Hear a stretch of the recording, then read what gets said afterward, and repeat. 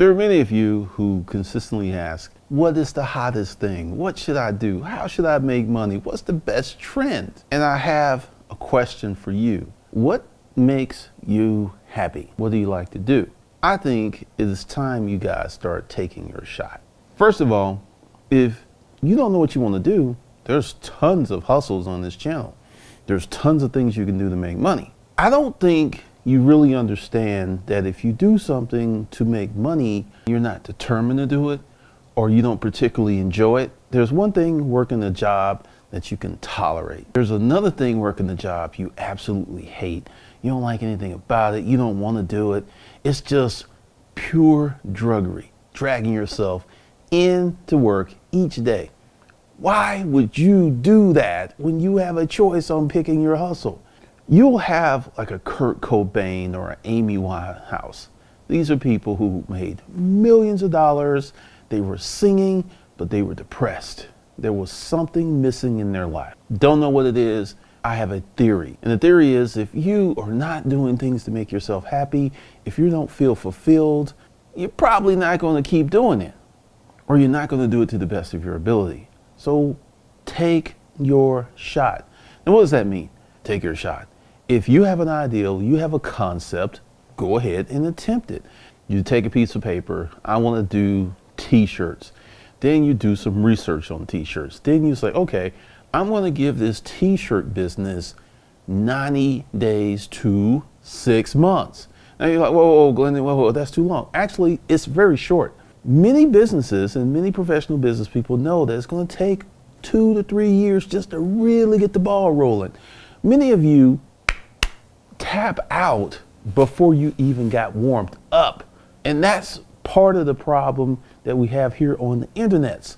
Everybody wants to hustle, everybody wants to make money super, super fast. Are you built to make money? Are you designed to make money? Let's kind of walk through taking your shot. Let's say you're on the internet, you're watching one of my videos, and you're like, hey, Glendon, I want to do this dog walking thing. What's the first thing you do? You sign up for rover.com. Go to Rover and you start walking dogs and you actually do it for 30 days. Now, why would you do this? There is the romance of the hustle and there's the reality of the hustle. You're walking dogs, you're picking up poop. If you're not really enjoying that, it's just gonna suck. That's why you should try a temporary hustle to actually see if you like it actually see if it jives with who you are as a person and if it's going to be something worthwhile for you. When I started this YouTube channel, I did not like making videos, but I loved the results. And that's what kept me involved because I had my blog, I was getting six to 20 hits a day, started a YouTube channel. First week, 200, 300 hits to the blog, direct from YouTube to the blog because you could look in your analytics to see where the traffic was coming from. I don't like sitting in front of this camera. I don't like sitting there talking to nobody. It feels weird, awkward, and strange. But you know what? I'm going to keep doing it because it's getting me results. This is what I mean by determination.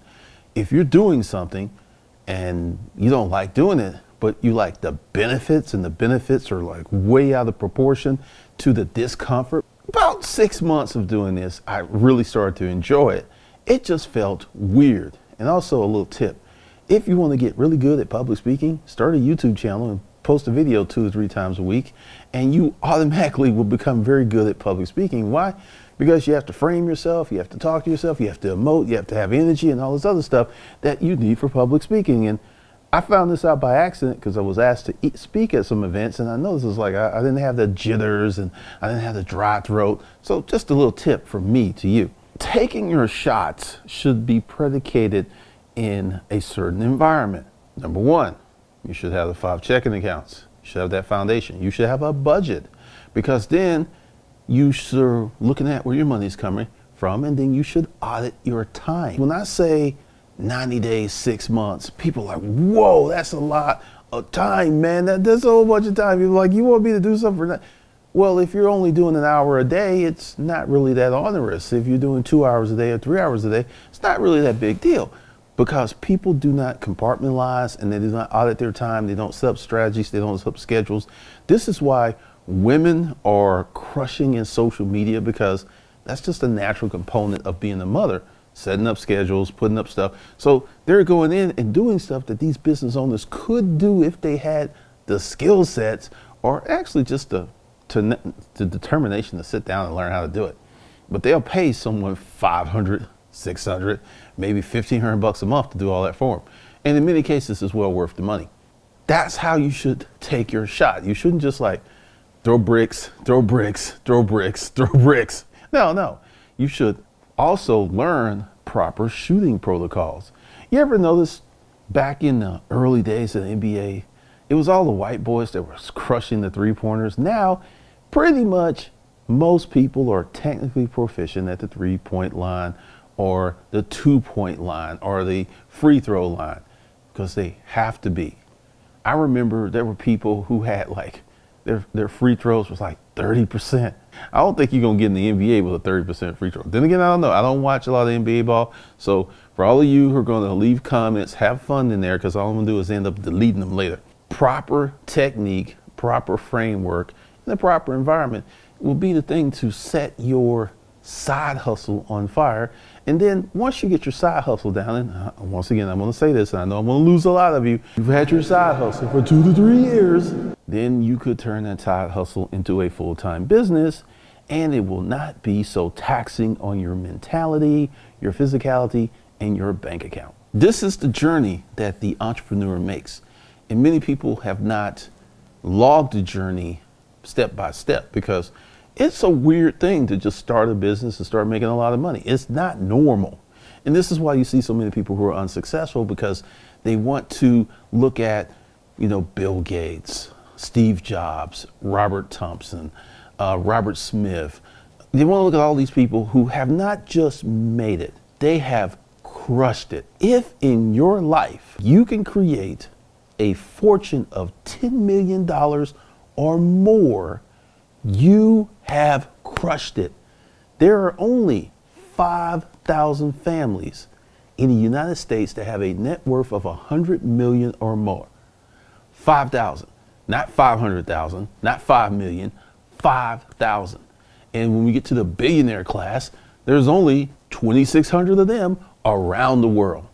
So once again, if you could create a five to $10 million fortune you've done something. You have crushed it. You didn't just make it. You didn't just like, uh, well, you know, I'm here. I'm looking to get to the next level. No, you have actually done something that 99.5% of the people on the planet have not done. So if you're there or close to there or you're working toward that, congratulations, because you're doing something special.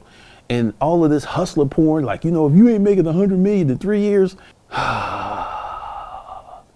they ain't even gonna be making a million in 30 years.